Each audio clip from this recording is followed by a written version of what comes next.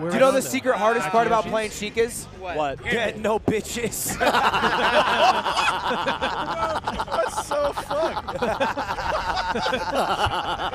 I'm feeling attacked over here. You're more than feeling attacked. You're getting attacked. I'd say to his face. yeah, right. right, right, right. That makes no sense. That means you're not talking shit.